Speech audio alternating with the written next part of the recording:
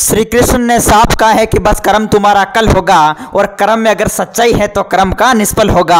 हर एक संकट का हल होगा, वो आज नहीं तो कल होगा। लोहा जितना तपता है, लोहा जितना तपता है, उतने ही ताकत भरता है। सोने को जितनी आग लगे, वो उतना खूब चमकता है। मिट्टी का बर्तन पकता है। तब धुन पर खूब खनकता है।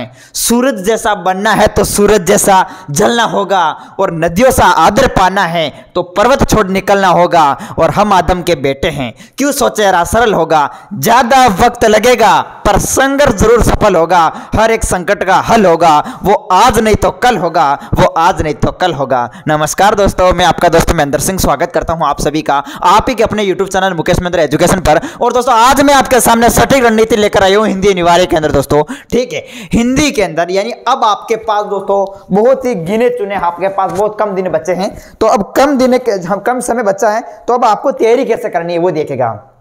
तो यहाँ पर देखो, मैंने आपको बता बता आज जैसे सात दिन हो गए, ठीक है? आज आपको पता है, सात दिनों की ये सटीक रणनीति है, ठीक है? आज क्या तारीख होगी? आज क्या डेट होगी दोस्तों? आज हो गई छह मार्च, ठीक है? सभी को पता है छह मार्च है।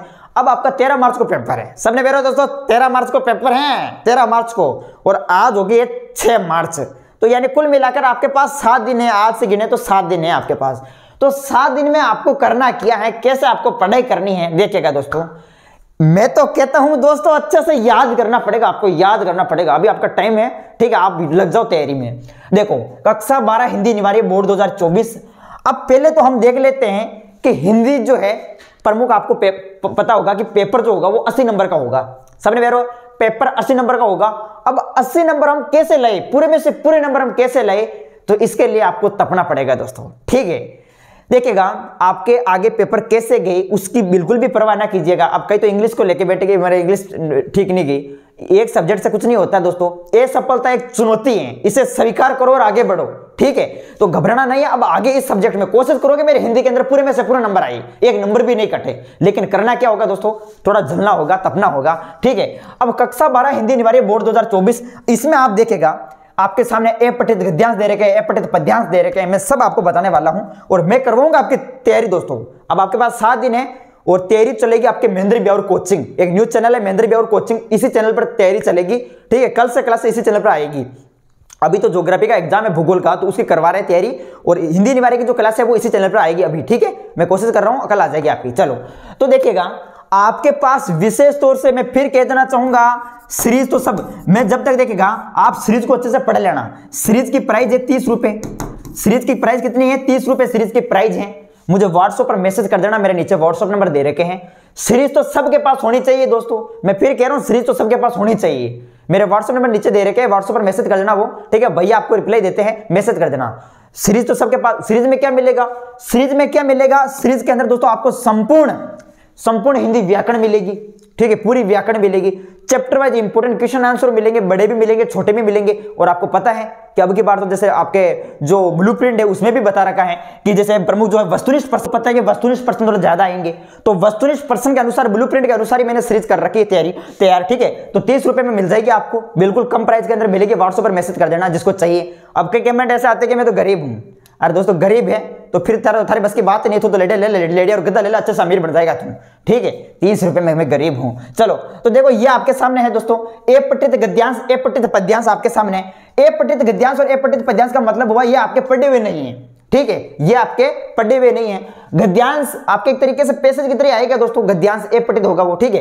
तो ए पठित गद्यांश ये आपके छह नंबर का होगा और ए पठित पद्यांश ये आपके छह नंबर का होगा। तो बारह नंबर तो ये तो आपके डायरेक्ट हो गए, बारह नंबर। यानी इनमें तो मैं आपको तरीका बता दूँगा कि इस तरीके से करना। बारह नंबर तो ये तो बिल्कुल फोकट के मिल जाएँगे आपको। सिर्फ़ पेपर को पढ़ा और आंसर लिखना, कुछ नहीं करना, ठीक है? बारह नंबर ये हो गए। उसी प्रकार से देखो रचनात्मक लेखन और रचनात्मक लेखन जो है ये आपके सोलह नंबर का। कितने नंबर का है? सोलह नंबर का आपका रचनात्मक लेखन आएगा। अब इसमें क्या क्या इसमें क्या क्या है प्रमुख टॉपिक है, जैसे देखेगा सबसे इसी में निबंध है, ठीक है, निबंध निबंध। रचनात्मक लेखन में निबंध निबंध। और निबंध आपके पाँच नंबर के अंदर पूछा जाएगा, ठीक है? 300 शब्दों में आपको निबंध लिखना होता है 300 साढ़े तीन सौ में। देखिएगा, पाँच नंबर का निबंध आएगा आपके, निबंध। अब निबंध भी मैं बता दूँगा आपको कि कौन सा इंपोर्टेंट कौन सा नहीं है, किस प्रकार आपको करना है, कैसे करना है, सब तरीका अच्छे से बता दूँगा मैं, ठीक है? जो मोस्ट है वो करवा दूँगा। उसको पढ़ लेना, पक्का आएगा वही, ठीक है? देखिएगा, ये प्रमुख निबंध इसके अलावा बात करें तो पत्र प्रारूप लेखन, ठीक है? और पत्र प्रारूप लेखन जो है वो आपके चार नंबर का इसमें अर्थशास्त्र के पत्र आ जाता है। एक निविदा तैयार कर लो। जैसे प्रमुख चैप्टर, इसी में देखो पत्र प्रारूप लेखन में, ये देखो निविदा आ जाएगी अर्थशास्त्र के पत्र आ जाएगा, अधिसूचना, ज्ञापन विज्ञप्ति। ये आपके जो सामने जो नज़र आ रहा है, निविदा है अर्थशास्त्र के पत्र है, अधिसूचना है, ज्ञापन विज्ञप्ति। इन पाँचों में से कोई ठीक है, दो चैप्टर आपको, दो चैप्टर मिल जाएँगे इनमें से। तो या तो निविदा पूछी जा सकती है। मुझे लग रहा है कि या तो निविदा आएगी या फिर अर्थशास्त्र के पत्र आएगा। तो पाँचों में से जो है, आपके दो आएँगे दोस्तों, उसके अथवा में भी दे रखा होगा। तो आप निविदा या अर्थशास्त्र के पत्र तैयार कर लो। ये आपके जो है वो चार नंबर पक्के हो जाएँगे। उसी प्रकार से देखो, अभिव्यक्ति माध्यम पर आधारित प्रमुख प्रश्न पूछे जाएँगे। चार नंबर के अंदर, सीरीज़ के अंदर सब मिल जाएँगे, मैं कह रहा हूँ फिर, सीरीज़ के अंदर सब मिल जाएँगे। ये देखो, अभिव्यक्ति माध्यम पर आधारित प्रश्न भी मिल जाएँगे आपको। और ये जो फीचर लेखन है फीचर लेखन भी आएगा दोस्तों फीचर लेखन। ठीक है फीचर लेखन फीचर लेखन जो है फीचर लेखन, आलेख लेखन, ये आपके जो है तीन नंबर का पूछा जाता है। तो कुल मिलाकर ये रचनात्मक लेखन आपके सोलह नंबर की है, जिसमें निबंध पाँच नंबर का है पत्र प्रभु लेखन चार नंबर का है, अभिव्यक्ति माध्यम पर आधारित क्वेश्चन चार नंबर के पूछे जाएँगे फीचर लेखन आपके तीन नंबर के अंदर है। तो ये आप देख सकते हैं कुल मिलाकर जो है, ये प्रमुख आपके सोलह नंबर के अंदर पूछे जाएँगे। तो व्यवहारिक व्याकरण की बात करें, व्यवहारिक व्याकरण तो ये आपके आठ नंबर की आएगी। फिक्स है। व्यवहारिक व्याकरण में। पहला चैप्टर है, भाषा व्याकरण लिपि का परिचय इजी क्वेश्चन आएँगे, पूरी सीरीज़ के सीरीज़ ने पढ़ा आपने सीरीज़ को अच्छे से पढ़ लिया तो मेरे को पूरे राइट है, मैं तो कहता हूँ दोस्तों, ठीक है? तो पूरी जो व्यवहारिक व्याकरण वो मिल जाएगी आपको। पहले चैप्टर भाषा व्याकरण वाला, अलंकार आपको मिल जाएँगे, सब शक्ति आपको मिल जाएगी, ठीक है? ऐसा कोई टॉपिक नहीं बचेगा जो नहीं मिले, सब मिल जाएगा इसके अंदर। तो परिभाषिक शब्दावली भी मिल जाएगी आपको। तो ये पूरी होगी दोस्तों, व्यवहारिक व्याकरण आपके सीरीज़ के अंदर। तो इसलिए मैं कह रहा हूँ, आप सीरीज़ अच्छे से पढ़ लीजिएगा। नीचे व्हाट्सएप नंबर है। मैसेज सीरीज़ तो सबके पास होनी चाहिए। अगर पूरे में से पूरे नंबर चाहिए तो। और आरो भाग टू आरो भाग टू जो है, आपकी बुक है, आपको पता है, ये आपके बत्तीस नंबर की है। कितने नंबर की है? बत्तीस नंबर की है। वितन भाग टू, ये आपके बारह नंबर की है।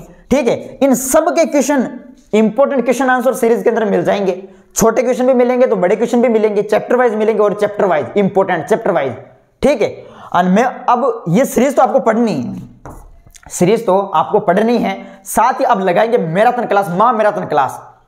सीरीज़ को आपने पढ़ लिया, माँ मैराथन क्लास अच्छे से देख ली। नंबर तो पक्के हैं दोस्तों, पूरे में से, पूरे अस्सी में से अस्सी छाप देंगे अब के बार, ठीक है? तो इसीलिए आप लगे रहो तैयारी के अंदर, ये है आपका कुल मिला के दोस्तों इस तरीके से, ठीक है?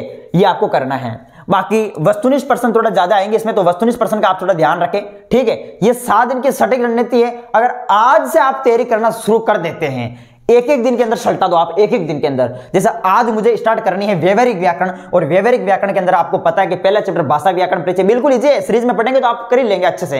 दूसरा, सब शक्ति ट्रिक से बता रहा है सीरीज़ के अंदर सब शक्ति अच्छे से हो जाएगी। और अलंकार अलंकार भी ट्रिक से करवा रखे अच्छे से हो जाएँगे। तो व्यवहारिक व्याकरण तो आज एक दिन में कंप्लीट कर दो, ठीक है? मैं कोशिश, आप देखो, आप सात दिन है आपके पास, आप कोशिश करके सीरीज़ को जो है वो तीन या चार दिन में समाप्त कर दो। ठीक है, तीन या चार दिन में, ज़्यादा टाइम मत लो, तीन या चार दिन में सीरीज़ को याद कर लो अच्छे से। और बाकी मेरी मैराथन क्लास अटेंड करते रहो, पूरे में से पूरे नंबर आपके आ जाएँगे। ठीक है, लेकिन सीरीज़ तो सभी के पास अनिवार्य रूप से होनी चाहिए, मैं फिर पहले कह देता हूँ। अब आपकी जो क्लासें होगी, ठीक है, हिंदी की, वो चलेगी आपके, अपने महेंद्र बिहार कोचिंग चैनल पर। तो आप सभी सब्सक्राइब करके रखना उस चैनल को, ठीक है? सभी को ऑल द बेस्ट और अच्छे से आपको तैयारी करनी है। मिलेंगे वापस आपको नेक्स्ट वीडियो में। जय हिंद, जय भारत।